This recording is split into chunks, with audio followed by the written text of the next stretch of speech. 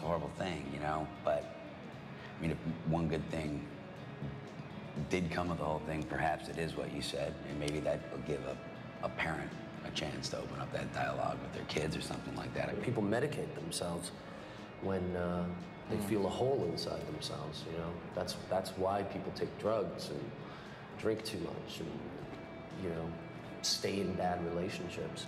It doesn't take a genius to realize that whatever you put in your system that numbs your senses sooner or later is going to hurt you. Drugs and alcohol are a symptom of a larger issue. It's how you feel about yourself. If you like yourself, if you're comfortable in your own skin, I'd hope that you'd never do anything to hurt yourself. I thought that about Kurt Cobain. I thought, what a selfish prick. But I was writing it myself as well, because I was writing the disease. I couldn't actually see it. Why didn't he just stop? Why didn't he just stop doing what he was doing? You know what? Once you're in, you're you're in there, it's really difficult. It's fear of everything.